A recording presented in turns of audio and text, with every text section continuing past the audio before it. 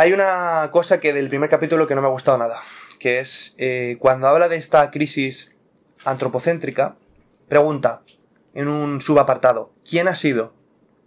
Y dice, no, no todos los seres humanos tienen la misma responsabilidad. Aunque sea nuestra especie la que está desmantelando el tejido de la vida en la biosfera, no todos los miembros de Homo sapiens se comportan igual. No todos tienen el mismo poder ni la misma libertad de acción, aunque también es cierto que personas con situaciones de partida similares acaban emprendiendo proyectos de vida diversos. Bueno, la autora no lo va a decir directamente en este subapartado, pero lo que quiere decir es que el problema es eh, la sociedad occidental. Aquí va a definir a la sociedad occidental como insaciable, capital, eh, consumista, bueno, no me acuerdo cuáles serán los apelativos, tiene razón en gran parte, pero, por desgracia, por la lectura general que yo saco del libro, a través de luego el apartado del ecofeminismo y también por otros tantos libros que, que he leído sobre estas cuestiones, se está refiriendo a que no todos los seres humanos tienen la misma responsabilidad. ¿Por qué? Porque es el hombre blanco occidental el que tiene la culpa de todo, básicamente. Es el mayor responsable. El hombre blanco occidental.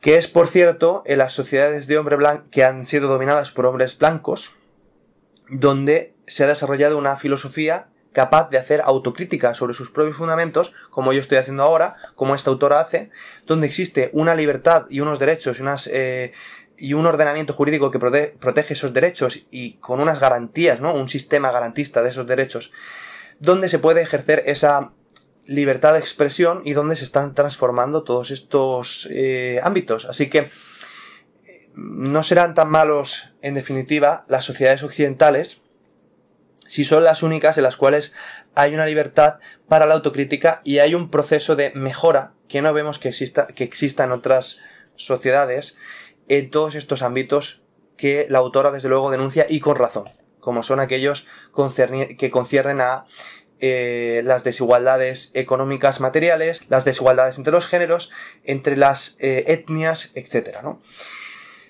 Entonces, bueno, es cierto que la, autora va a decir, citando a, otras tantas autoras, que efectivamente algo de positivo tiene la sociedad occidental, pero muy a regañadientes. Aunque no condene de manera explícita a, al hombre blanco occidental cuando dice que no todos los seres humanos, por no estar dotados de la misma agencia, tienen la misma responsabilidad, se está refiriendo al hombre blanco. Lo sé porque lo he leído en Donna Haraway y lo he leído en bastantes autoras, y porque se ve implícito en las lecturas que hace. Eh, curioso. Además, hay que decir una cosa, el hombre blanco occidental promedio, hasta hace 80, 90, 100 años, no tenía ni, derechos políticos ni libertad en absoluto. Estaba sometido a regímenes eh, muy autoritarios con una total ausencia de, de, agencia ¿no? sobre su vida política, económica, social, etc. Entonces no sé exactamente esa, esa ese presunta responsabilidad del hombre blanco eh, sobre quién recae, sobre ese porcentaje reducidísimo de hombres que tenían el poder en Occidente, pero bueno, tampoco vamos a, a cabrearnos con esto porque es que forma parte del momento que estamos viviendo, ¿no? Estoy de acuerdo con muchas de las reivindicaciones que hace la autora, que estoy dejando de lado, porque evidentemente yo eh, abogo por la conservación de la naturaleza, suscribo las tesis fundamentales en muchos sentidos de la autora y eh, efectivamente me suscribo a mm, la alarma que hay dentro de ciertos sectores científicos con respecto a, como he dicho antes, la desaparición de la biodiversidad, la acumulación de la, biomasa en, la sociedad humana, la simplificación de los ecosistemas, etcétera, etcétera, etcétera. Evidentemente, todo eso es, está más que claro. ¿no? Pero bueno, en cualquiera de los casos, como digo, eh, esa insistencia en que el problema de la, de la crisis de la biodiversidad es el, patriarcado o es el capitalismo, es, está presente a lo largo del libro, como está en, la teoría antiespecista, anti, eh, anticapitalista, etc.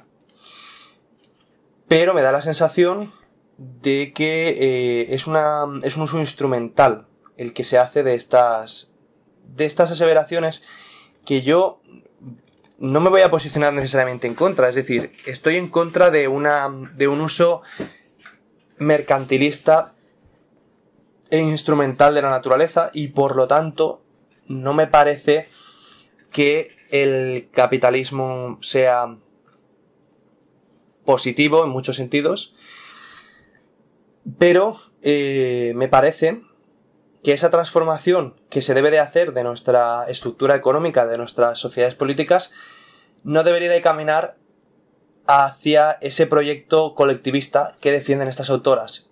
Ella, hasta el final del libro, no va, no va a hablar de derechos colectivos. En muchos sentidos entiendo la noción de derechos colectivos, pero muchos otros no. Porque yo creo que los derechos eh, se ejercen a través del individuo y las obligaciones se contraen a través del individuo. Es decir, las obligaciones no se pueden contraer a través del grupo. Por ejemplo, cuando dice que eh, la responsabilidad de la crisis eh, ecológica no puede ser atribuida de igual manera a todos los seres humanos. Porque ¿qué significa contribuir obligaciones a través del grupo? ¿no?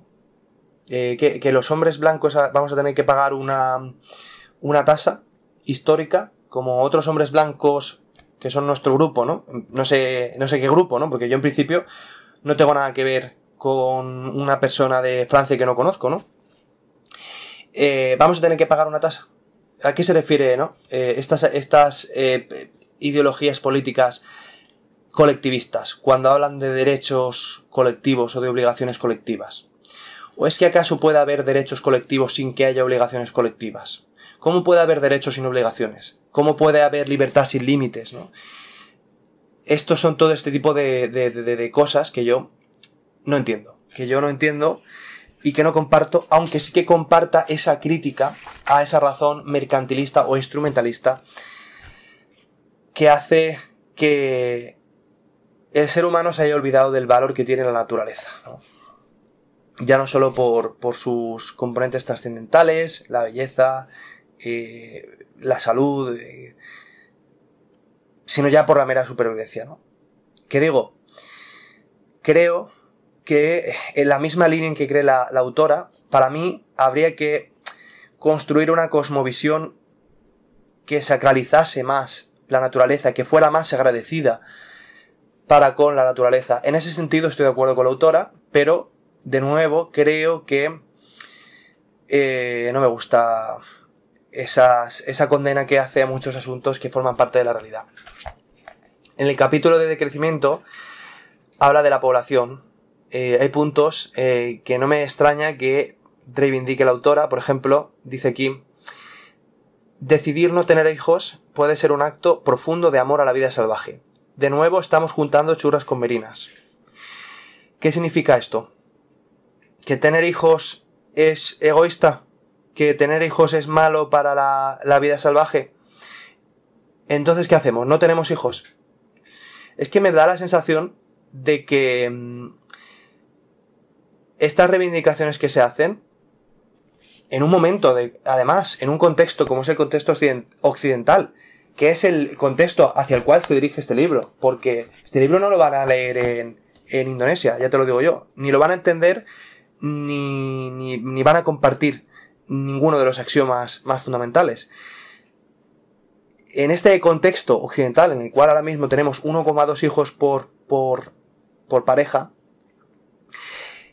es decir, eh, perdemos población a un, a un ritmo vertiginoso y de hecho, aquí la autora, y yo estoy de acuerdo, dice que para 2100 podemos ser, como decíamos antes, 11.200 millones, ¿no? Una barbaridad, estoy de acuerdo.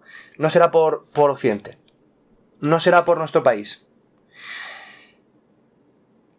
La autora se, se, se, encuadra dentro de estas reivindicaciones, ¿no? De que no tienen hijos por un acto de empatía. No.